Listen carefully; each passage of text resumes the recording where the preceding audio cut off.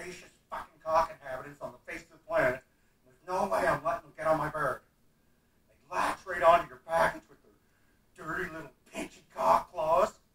They start fucking hatching eggs. It's terrifying. I went online and I calculated I need about 22 bottles of crab shampoo to get rid of the infestation on my titties. 22 fucking bottles. How embarrassing that's going to be to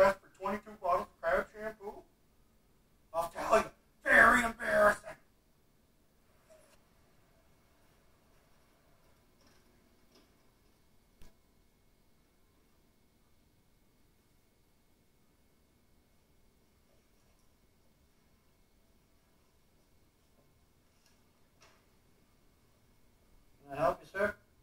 I notice you don't have the medicated shampoo in the shop. Dandruff shampoo's an aisle seven, sir. Oh, it's not for dandruff. Nice.